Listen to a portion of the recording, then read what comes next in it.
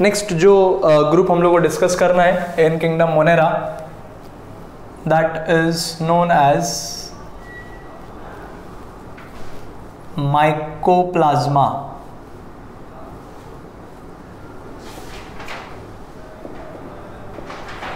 In fact, mycoplasma is considered as the smallest bacteria in the entire world. So this is one of the smallest bacteria.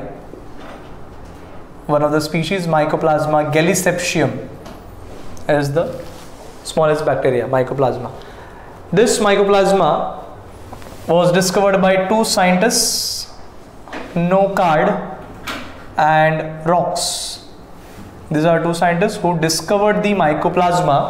from pleural fluids pleural fluids of cattle. so animals may. ये mycoplasma organism discover हुआ था और cattles में ये infection करता है and they were discovered in the pleural fluids pleura is one of the covering of the lungs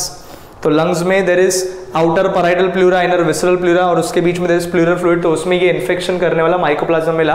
And hence this mycoplasma was known as P P L O entrance में favourite question P P L O का full form वगैरह पूछा जाता है। या फिर what is P P L O that is nothing but mycoplasma belonging to kingdom Monera so P P L O is known as pleuropneumonia like organisms so these are the organisms which cause infection of the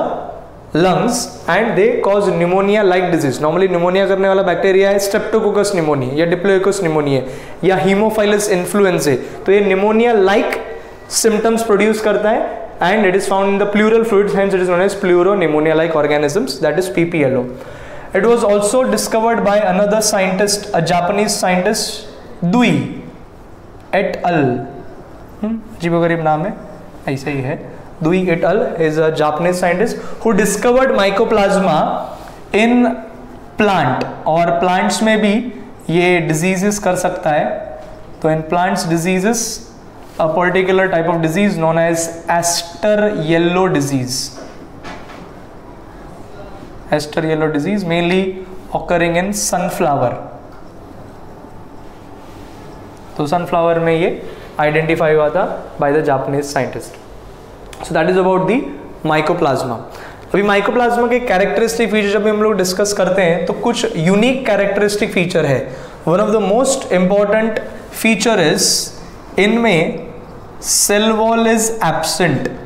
अब तक हमने जो भी पढ़ा है, या तो Archie bacteria पढ़ा है यू बैक्टीरिया पढ़ा है साइनो बैक्टीरिया पढ़ा है, सब में सेल वॉल तो था ही। तो this is the only organism जिसके पास सेल वॉल एबसेंट है in kingdom Monera so that is why since cell wall is absent it can change its shape and that is why this organism is also known as pleomorphic organism pleomorphic means ability to change its shape and since ये अपना shape वगैरह change कर सकता है ये cell wall less है इसको बोला गया है as joker of plant kingdom तो इनिशियल साइंटिस्ट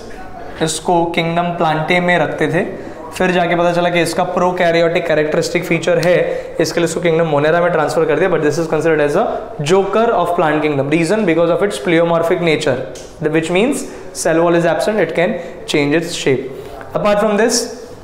इसका सेल मेम्ब्रेन इन जनरल बाकी सब की तरह ही लिपिड्स एंड प्रोटीन से बनेगा।